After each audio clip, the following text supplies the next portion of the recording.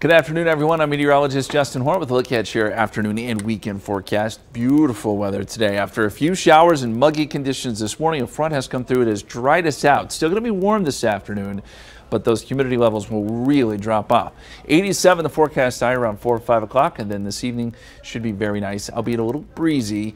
We'll see some winds, maybe gusting up around 20 miles per hour, but temperatures will fall into the 60s by 11 o'clock and eventually down to 50 by tomorrow morning. What a way to start your Saturday. Cool and nice. And Saturday afternoon, we'll see highs right around 83 with sunny skies. Humidity does try to make a comeback late on Sunday. And by next week, with a frontal boundary, we'll have some rain chances and some cooler weather too. 20% chance of rain Monday, Tuesday, Wednesday, and Thursday.